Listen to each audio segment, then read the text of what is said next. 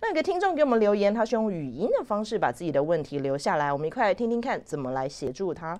Hello，您好，我是呃帮朋友问一下，好，他呢是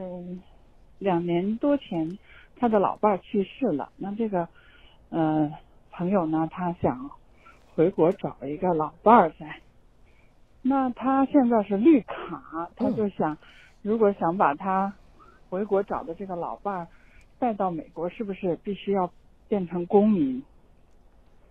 他哦绿卡能不能结了婚以后带过来？OK，这是一个问题哎。第二个问题是他的，因为这个男的也六十八了，他想找这个老伴儿呢。如果是他结婚带来呢，这个老伴儿啊、能不能申请美国的这个福利？还是要变成绿卡或公民才能申请？麻烦专家帮着解答一下。好，谢谢，拜拜。嗯，好的，谢谢你的这个问题哦。很多人呃，在这个啊、呃在后来 在第二段呃的这个生活中，都很想再找第二春哦。那如果像这种情况呢，如何帮另外一半申请身份，或者是呢美国的福利哦？那像这个移民相关的这个问题呢，我们口号小天使今天为大家找到的移民专家是我们的好朋友格兰律师事务所杨经理 Cindy，Cindy 早安。哎，早上好。哎，呃，对哈，我们这位朋友的问题，绿卡可不可以申请他的配偶移民来美国？答案是肯定的，绿卡是绝对可以申请配偶移民来美国，而且啊，近几年绿卡和公民申请是一样，都不用排期。那我们知道公民申请配偶是肯定不用排期嘛，这是法律规定的。绿卡呢，原则上是有排期的，不过这几年呢，就刚刚好都没排期啊。哎，呃，但是呢，呃，也不是像这位朋友想的说，呃，我这个回中国去啊，找到一个老伴，在当地结婚了，结婚以后，我是不是就可以马上带着他去美国的领事馆办一个签证，然后就来美国了啊？嗯嗯嗯，这个答案嗯、呃不是那么简单，您可以帮他申请移民，但是要走程序。哦，呃，程序是怎么样呢？就您结婚以后啊，要向美国当地的移民局递交 I 一三零的移民资格申请，OK，然后这个申请呢，呃，等移民局批准以后，然后到国家签证中心，这时候才做移民签证的申请资料，嗯。然后这个美国的绿卡要做生活担保，这些全部做完了，合格了，然后美国领事馆才会给您的老伴办这安排时间去做移民签证的面谈啊。哦，那面谈的时候呢，呃，签证官要确定说你这个婚姻是真实的，嗯嗯，呃，这个申请人来美国的目的真的是要跟你在一起生活啊，而不单纯是为了这个绿卡。所以如果说您在找老伴的时候要注意一下这个年龄。有的时候啊，我们找了一个老伴呢，可能很年轻、很 漂亮，是那这六十八岁和找了一个二十八岁，二十二岁，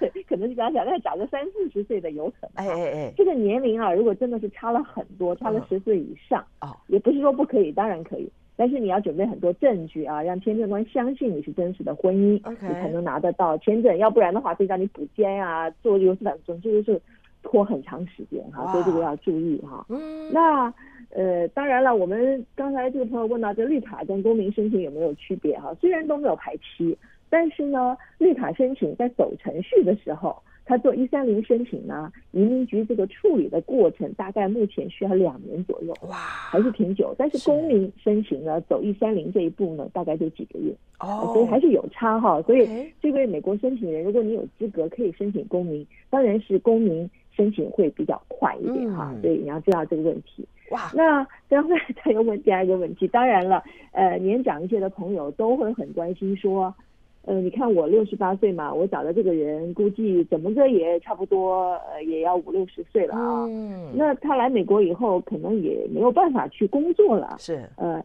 那我现在六十八岁，搞不好也退休了啊。哎那我们有需要的话，能不能去申请福利哈？哎，是这样子，福利呢，如果说您是符合申请这一种福利的要求跟条件，你当然可以去申请，嗯，呃，也可以享受，没问题是。但是呢，你要考虑的是说，呃，咱们在移民的时候啊，不是提到要签一个生活担保书嘛？是是，那这个生活担保书是什么意思呢？就是说你要担保，说要申请绿卡的这个人来到美国以后，他是新移民哦，嗯他呢有能力，你有能力养活他，是是，或者他自己有能力养活他自己，不会成为公众负担。嗯，那一旦你新移民来了美国以后啊，你就马上就去申请福利了。对，呃，那那这个算不算就是违反了我们这个当以前做的这个经济担保保里面的哎，这个对生活担保的这个、哎这个当时的这个要求了啊？嗯呃，你一旦违反了呢，呃，政府是会有可能向这个担保人追缴呃这个新移民使用过的福利的。，OK，啊，这是有可能的。嗯嗯嗯，所以说，呃，您在领福利之前呢，呃，要看一下就当时这个这个政府的政策哈。为什么这么说呢？就比如说我们最关心的一个就是健保啦，健康保险，是是因为谁来到美国都要有一个健康保险。嗯那现在的这个奥巴马健保，很多人收入低的话，不是都有一些不同数额的补贴？哎，呃，那这个呢，明确的可以讲说，这个不算是公众福利啊。是是你来了以后，绝对可以去买奥巴马的健保。嗯但是呢，如果说你的收入太低或者没收入呢，奥巴马健保里你就变成白卡了。哎，那这个白卡，白卡就是你是完全不花钱的，一分钱月费都不要付。嗯然后呢，你看医生什么都不要花钱哈。呃，那这个白卡到底算不算是公众负担啊？呃，这个问题呢，就真的是要看当时的政策。呃，我们大家都记得说，在川普时代早几年的时候啊，川普时代的时候，真的是那时候很严重啊。是啊，这个经济担保，不要说普通的这个我们以前填的这个经济担保表格哎，它还有另外做了一个公众负担的表格哎哎哎，啊，要求大家都来填哈。嗯，所以在这个政府政策很严格，而且对移民不友好的时候呢，这白卡这种呢，有可能算是公共公众福利。是，但是呢，在这个政府的这个移民政策比较友好的时候呢，有现在可能呢，那不算好是公众福利哈。是是是，呃，所以就说这些呢，像这个白卡、呃现金补助啦、粮食券啦，哎甚至这个租房补贴啊，这些呢都是要看到时候的政府的政策是怎么样。所以呢，您可能来了以后呢，也不用考虑那么多。嗯来了以后呢，就根据只要自己家里的实际情况是可以不领的，像这种啊白卡啊现金补助，是，那就尽量不要领。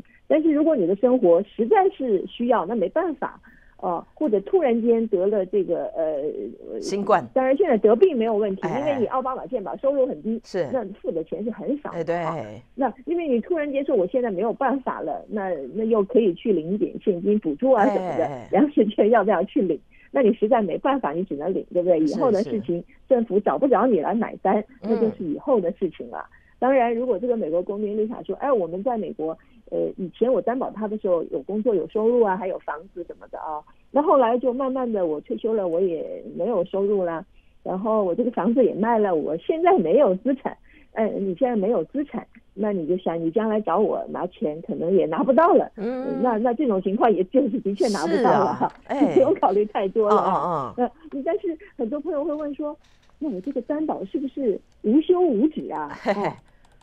到底要担保多久呢？入籍以后才可以吗？什么时候？对对嗯对，这个担保的责任哈是要到这个新移民加入美国公民以后，哦。那就跟你没有关系了。是是是，哇，好的，所以这个经济担保的部分是一直要到美国公民哦。那刚刚讲的这些公众负担，如果实物券呢、又或者是你拿的是这种白卡的话呢，也有可能，如果政策比较严谨的时候，比较像之前川普政府一样紧张的时候，那就算是公众负担了。那因为现在相对比较起来，如果是拜登总统的话，是不是相对在过去几年现在是很松的时候，如果他想要回国去找这个新的老婆，或者是想要申请的话，现在要动作快一点。就像刚才我们的这个杨经理 Cindy 讲的，现在呢绿卡没有排期，但整个操作下来也大概要两年哦，所以哎要做要快嘛，是不是杨经理？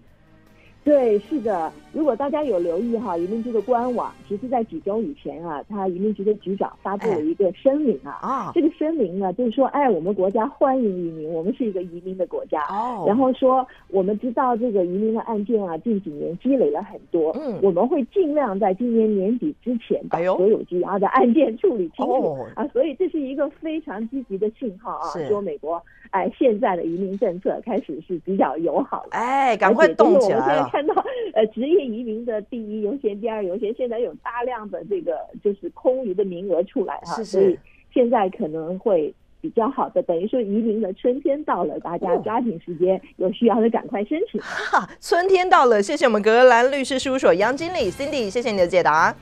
好，不客气，下次。